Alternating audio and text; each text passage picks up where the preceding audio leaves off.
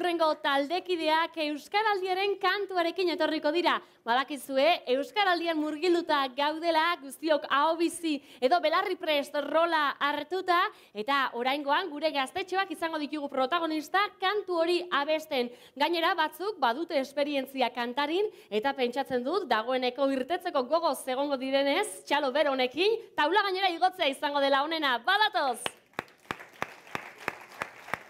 ¡Apa cuadrilla!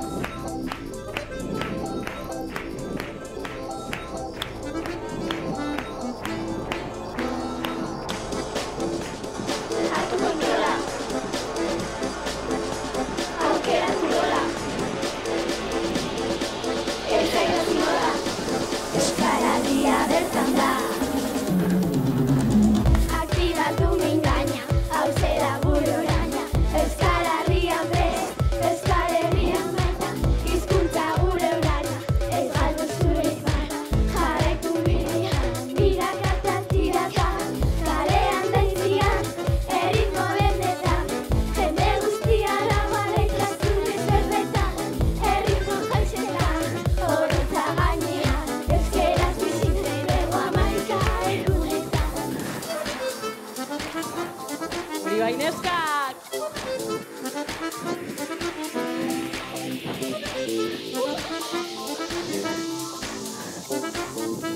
Euskara lia bertan da,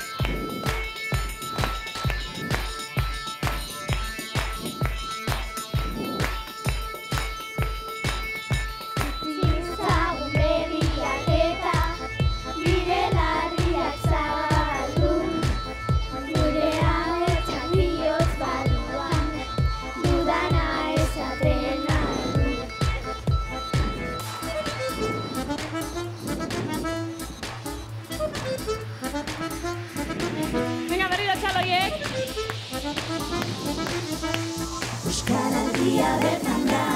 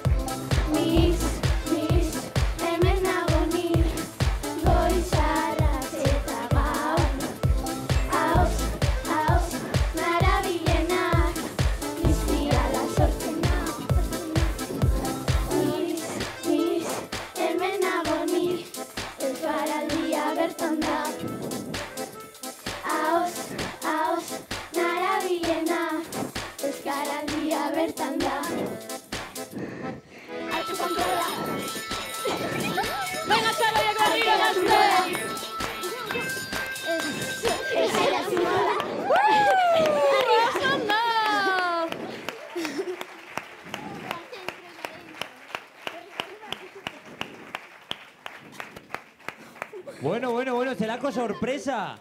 Eh, Ene, ez tapatu, ez tapatu! A ber, a ber! Ene! Eh, Aizue, publiko hor zegoen, eh. ez daukat, ez daukat, ez daukat, ekutxan, ez daukat, ekutxan! Bueno, baina ez duzu eguzti eh? Ze, behi hori norena da? Eh? Hor dagoen behia. Ze behi? Nik behi bat ikusten dut hor. Ez dago behirik gala? Bueno, bueno, neskak, primeran ez? Ez da? Jo, nik ikusi zaituzte hor. Ba, ba, ba, ba, ba. Zenbaten saiatu duzue? Asko. Asko, asko, ez da? Bai. Baina, ze, jabeteak. Bai. Bai, bai, bai, bai. Eta, ze, non, non ikasi duzue alako pauzuak ematen zuek, egon da norbait zuzendari lanak egiten? Zuek bakarrik? Bai. Oso profesionalak orduan, eh? Dantza, beia, aizue, kompleto, kompleto, eh? Bueno, jongo gara bakesteitzera, zagian honek jan nahi du, eh? Bai, eramango dugu? Venga, hartu, eh? Baina guztien artean, eh? Ze behiak pisatzen du. Bueno, bagoaz. Gero Aitor! Bueno, bueno, zelako martxa ekarri taldekide horiek ere, eta hemen primeran pasatzen ari gara, espero dugu zuek etxetan ere alaxe egotea. Eta